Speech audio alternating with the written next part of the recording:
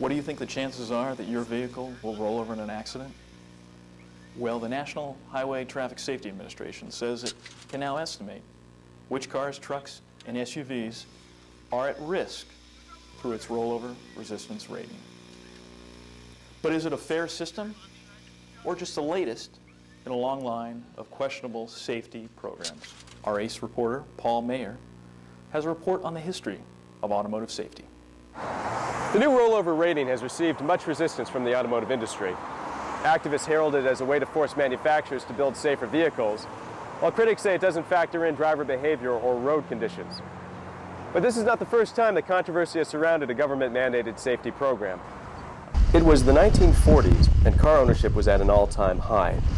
So were speedometers. Vehicles were becoming faster, and accidents were becoming deadlier. Automotive engineers spent most of this decade trying to design a tool that would hold people in during a fender bender or head-on collision. Among the inventions, the sternum strap. However, improper use of the strap led to decapitation, broken necks, and very bad rashes. By 1949, road fatalities were up 34%. The 50s and 60s, more unsuccessful attempts at driver safety took shape in the form of the road pillow, family focus, and highway Hank. This period also spawned the crash test. Prior to the crash test dummy came the crash test monkey. But due to the rising cost of monkey importation, the program crashed and burned.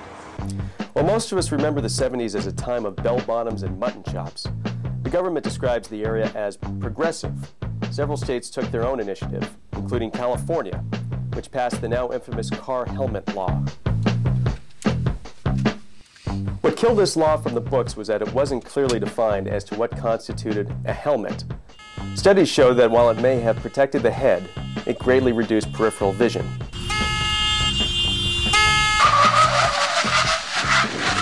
Highway fatalities were up by 63% at the end of the decade.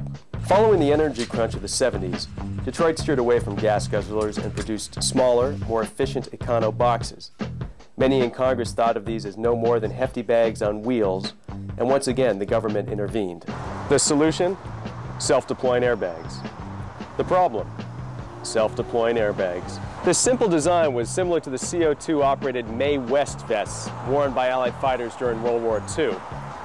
However, the vehicle's computer was not yet advanced enough to be the brain behind deployment. This left inflation to the driver. In other words, a judgment call. So the guy says, Chihuahua? They gave me a Chihuahua?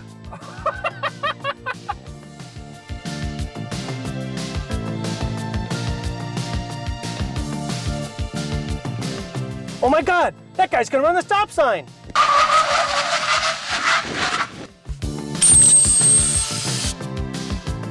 While airbags were developed as a result, the 90s brought us more failures, such as the life raft, the backseat driver, and the voice-activated braking system.